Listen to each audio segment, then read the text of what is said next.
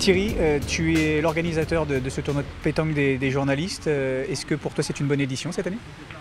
Oui, c'était une bonne édition, surtout qu'on l'a pris il y a deux mois simplement, puisque c'est Reims qui devait le faire à l'origine. Et puis il y a deux mois, on m'a appelé pour dire que Reims ne le faisait pas, qu'il fallait que je reprenne le bébé en main. Et je suis très satisfait parce qu'il y avait quand même 48 équipes.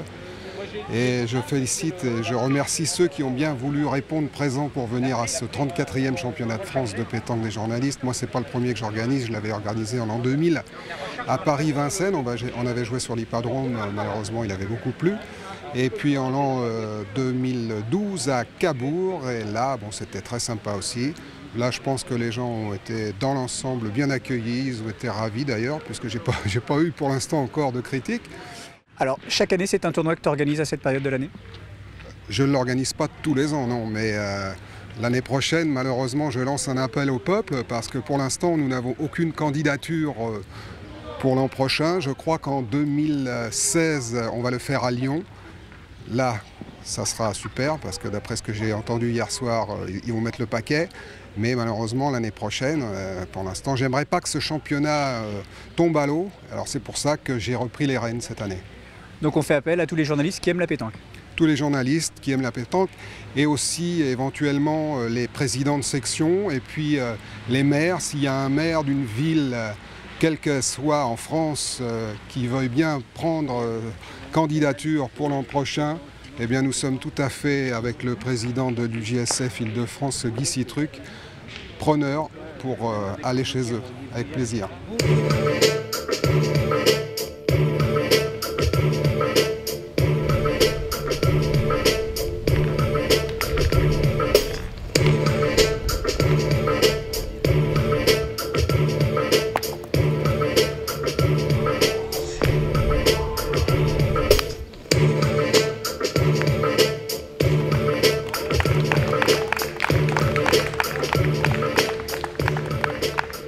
Féliciter aussi euh, mes adversaires, Bruno Recourt qui a très bien joué, et puis Cédric, c'est une première sur euh, une première, un, premier titre et ils ont eu le mérite de profiter un petit peu du fait que nous, on a très mal démarré la partie, on a, on n'a vraiment pas joué à notre niveau. Bon, ça arrive, on est passé complètement à travers, mais il faut les féliciter.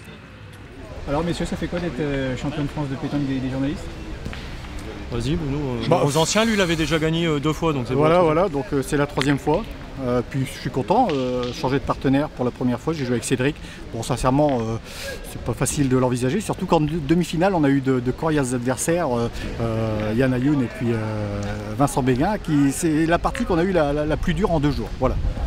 La finale à la finale, euh, ils n'ont pas joué leur valeur. Euh, Fred a mal tiré au début. Euh, Thierry a perdu pas mal de boules au point. Cédric a bien pointé. Moi, j'ai tiré les boules qu'il fallait.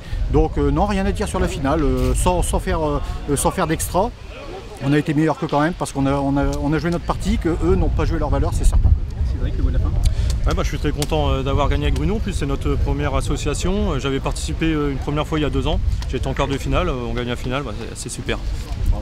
Merci. Merci Yann.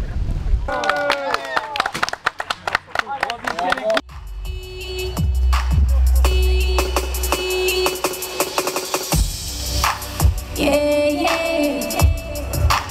Yeah, yeah. Yeah, yeah. Sing! My love